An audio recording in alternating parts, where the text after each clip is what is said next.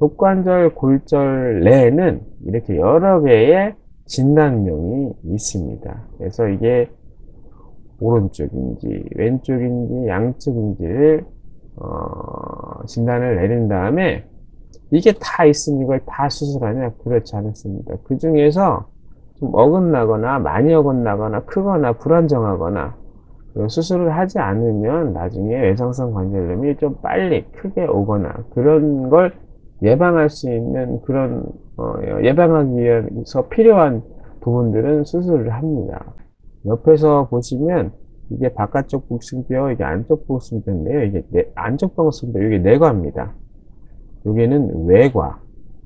그리고 옆에 사진 보시면 이쪽이 앞쪽이고 이쪽이 뒤쪽이거든요.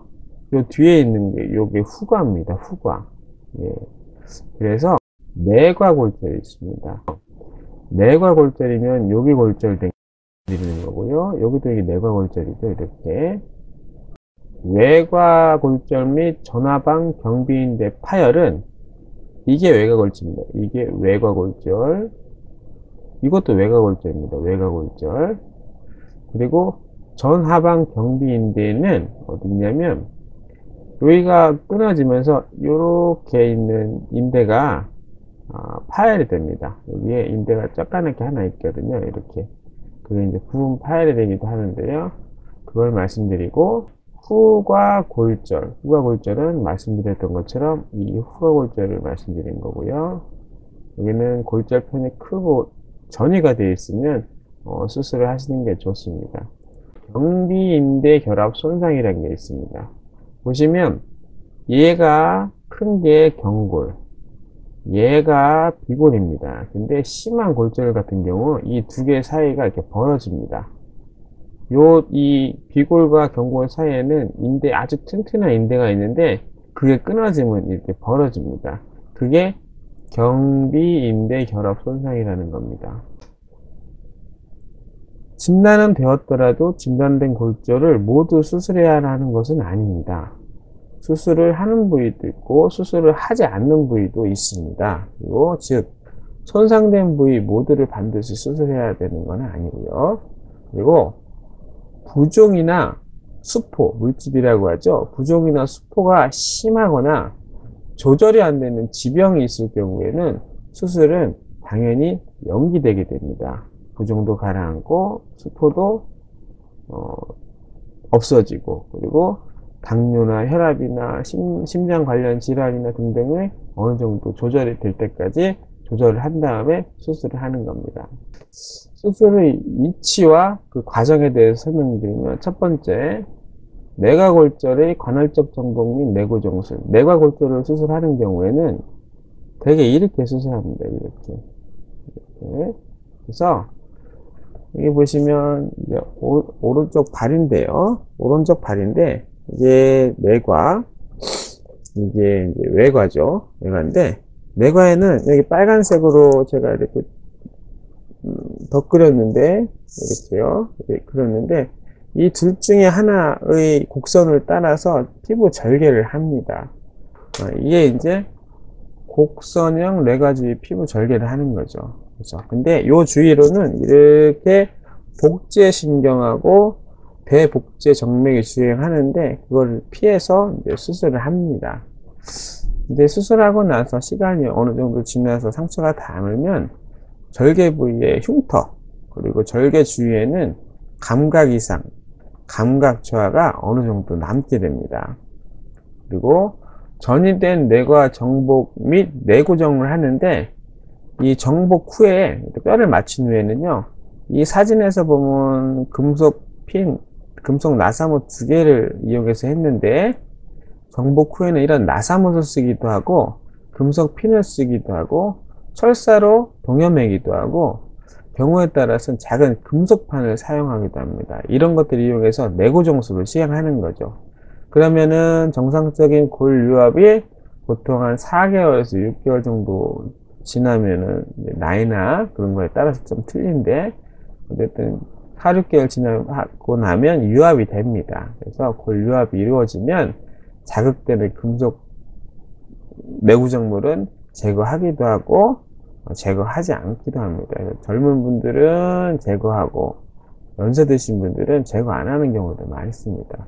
어쨌든 이러한 어, 골유압 4개월에서 6개월 시에 보통 일어나는데 환자나 개개인의 특성에 따라 다소 차이가 발생할 수도 있습니다. 그래서 내과골절만 있으면 이건 이렇게 수술합니다. 여기 그림처럼 이렇게 자 독관절 외과골절 이 사진에서 보시면 여기가 부러진 게 외과골절이고 여기가 부러진 게 외, 외과골절입니다. 그러니까 외과골절은 이제 음, 이 관절내가 아니고 요 위에서 부러져도 이제 관절내 골절로 취급을 합니다. 그래서 외과골절을 외과골절의 관절적 정복 및 내고정술은 어떻게 하냐면 피부 절개를 비골 장축 비에 따라서 길게 곡선으로 피부 절개를 합니다. 다시 이제 이 모델을 보면 안쪽 복숭뼈, 바깥쪽 복숭뼈인데요.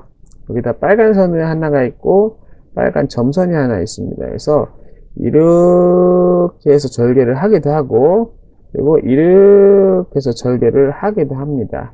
만약에 어, 후가골절을 같이 수술해야 되는 경우에는 이 절개선이 조금 더 뒤로 커지게 어, 만들 만들 수 있습니다. 그래서 그런 다음에 어, 다른 수술 부위와 마찬가지로 이 피부 절개 주위로 아 죄송합니다. 피부 절개 주위로 천비골 신경이 주의합니다. 이게 여기가 이제 피부 절개 이렇게 있던 이렇게 있던 있는데 요 되게 요 방향으로 천비골 신경이라는 게 지나갑니다. 발등의 감각을 담당하는 신경인데요. 이게 주행하는데 이 신경을 주의해서 어, 절개를 하고 수술을 합니다. 그럼에도 불구하고 이 절개한 부위에 흉터는 남고 절개 주위의 감각 이상과 감각 저하는 마찬가지로 어느 정도 남게 됩니다. 모든 피부 창상 주위로는 어, 감각 이상과 어, 감각 저하가 남게 됩니다. 그리고 전이 된 어긋났던 외과를 정복한 다음에 내고정을 하는데 어, 정복 후에 나사못, 금속핀, 금속판 등을 사용하여 내고정술을 시행하는데 거의 대부분 외곽 골절에서는 이런 금속판을 사용합니다. 금속판을 사용하고 거기에 이제 나사못을 박습니다. 어, 하지만 어긋난 게 별로 없고 아주 간단한 어, 외곽 골절의 경우에는 금속 핀 두 개, 세 개, 많게는 네 개, 아주 그 어, 금속 핀, 철사 같은 금속 핀을 어, 만으로도 어, 수술을 하기, 하기 도 합니다. 요 아래에 보시면 어, 마찬가지로 내과골절과 마찬가지로 일반적으로 4에서 6개월 경과 시에 골 유압이 이루어지고 이는 이제 나이, 개인의 특성에 따라서 그리고 골절의 양상에 따라서 차이가 있지만 어쨌든 그렇게 되고 어, 금속 제거는 빠르면 4개월, 보통 5, 6개월 있다가 가능하게 됩니다. 그리고 어, 외곽골절 시에 주로 전하방 경비인데 파열이 부분적으로나 또는 완전 파열이 같이 일어나는데 이 부분에 봉합도 함께 하게 됩니다. 거기가 어디에 있냐면 이 사진에 보시면 여기에서 이렇게 인대가 있습니다. 이렇게 거기도 어, 완전 파열이 있거나 그러면 어, 봉합하기도 합니다. 전화방 경비인대 봉합 후에도 족관절 불안정성이 의심될 경우에는 경비가 나사모 또는 금속핀 내구정을 추가할 수 있습니다. 인대를 여기서 이렇게 봉합을 했는데 이 뼈와 비골과 경골 사이가 계속 끈적끈적하고 좀 불안정하다. 그럼 핀을 이렇게 해서 이렇게 해서 한 아, 두세 개 정도 어, 추가로 박을 수가 있습니다. 여기까지가 어, 외곽골절의 관할적 정복 및 내고정술에 대한 방법입니다. 이번에는 어, 후각 후각 골절의 관할적, 관할적 정복 및 내고정술에 대한 설명입니다.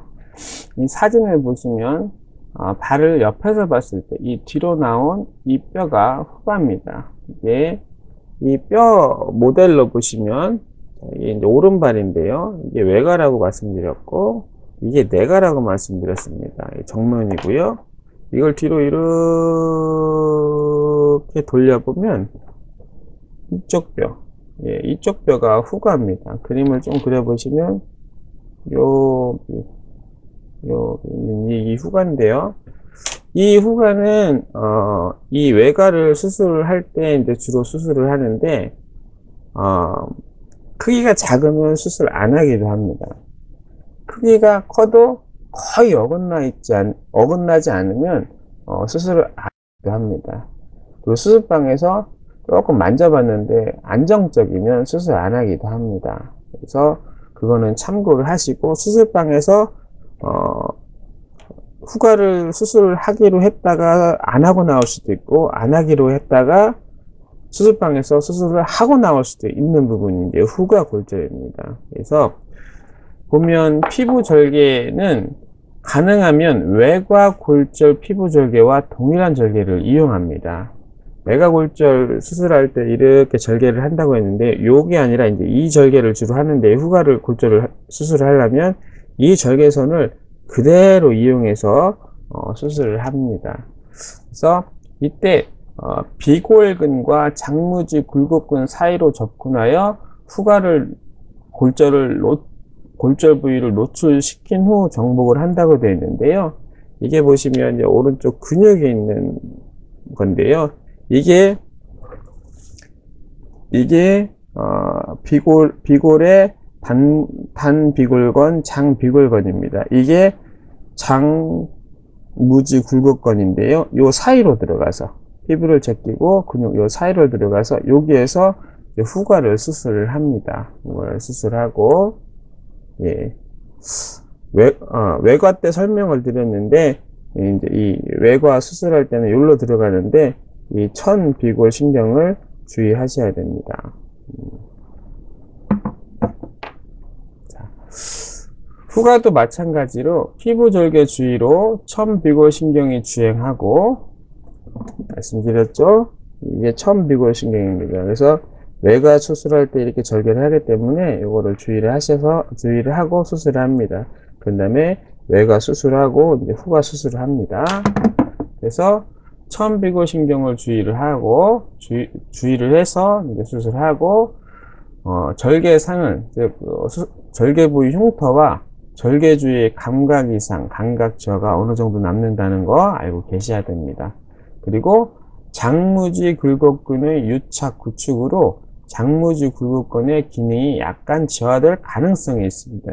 뭐냐면 어, 후가골절을 수술할 때 얘와 이 장무지 굴곡근을 옆으로 제껴서 수술하거든요. 그럼 이 근육의 일부 손상이 좀 받을 수가 있습니다. 어쩔 수 없이. 그러면 나중에 엄지발가락을 이렇게 완전히 구부리는 기능이 살짝 어, 떨어질 수가 있습니다. 그거는 어, 수술하는 과정에서 어쩔 수 없이 발생하는 어, 후유증이라고 생각하시면 되겠습니다. 그리고 어, 긋난 전이된 후가를 정복한 다음에 내고정술을 하는데 주로 나사멧, 나사못이랑 금속 핀을 사용합니다. 여기 엑스레이에서 보시면 나사못을 사용했죠. 이렇게. 예, 이게 후가골절의 고정에 어, 쓰는데 사용한 나사못입니다. 이 나사못은 옆에서 이렇게 보시면 뒤에서 앞방향으로 이렇게 나사못을 받기도 하고 오히려 정복을 한 다음에 앞에서 뒷방향으로 이렇게 나사못을 받기도 합니다. 음, 그리고 일반적으로 후관은 3개월에서 어, 6개월 경과 시에 골 유압이 이루어지지만 또한 어, 나이나 어, 개개인의 특성, 골절의 양상에 따라서 다소 차이가 발생할 수 있고요. 그리고 어, 후가 골절이 있으나 전이가 거의 없거나 골절이 작은 경우에는 수술을 하지 않기도 합니다. 이럴 경우에 즉 후가 골절을 수술을 하지 않았을 경우에는 그래도 약간 불안정한 게 있기 때문에 절대로 4에서 6주간은 체중 부하를 하면 안 됩니다. 이거는 꼭 지켜줘야 되고요. 만약에 후가 골절을 이렇게 해서 내고정으로 수술을 했다 그러면 좀 더 일찍 걸으실 수가 있어요 근데 아, 수술을 안 하면 오히려 걷는 거는 한 2주 정도 더 늦는다는 거 알고 계셔야 됩니다 여기까지가 후가골절에 대한 어, 수술 과정의 설명이었습니다. 다음은 경, 경비인대 손상의 정복 및 내구정술입니다. 어, 경비인대 손상이라는 건 얘가 어, 경골이고 얘가 비골인데 이 경골과 비골이 벌어지는 겁니다. 이렇게. 요 사이에 인대가 끊어져서 이렇게 벌어지는 겁니다. 그러면 관절이 벌어지거든요. 그럼 얘가 덜렁덜렁덜렁해서 나중에 관절염이 옵니다. 외상성 관절염이. 그래서 경비인대 손상은 반드시 잘 맞춰줘야 됩니다.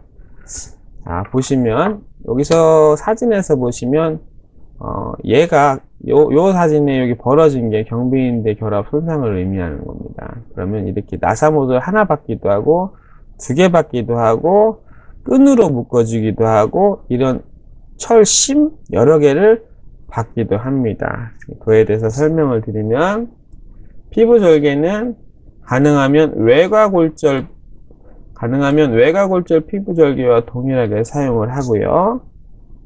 예, 외과, 내과, 이 빨간색 피부, 어, 이 실선이나 점선 중에 하나를 사용한다고 했습니다.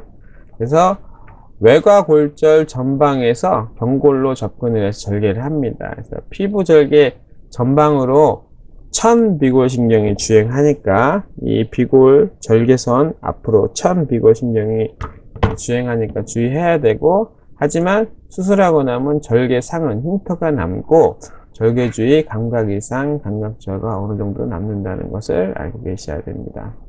그리고 전이된 경비인대 결합, 정복 및 내고정 또한 나사못이나 금속핀으로 이제 시 고정을 합니다. 또는 끈으로 어, 끈으로 고정하기도 합니다.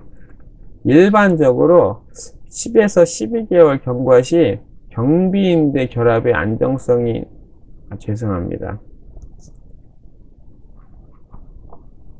수정.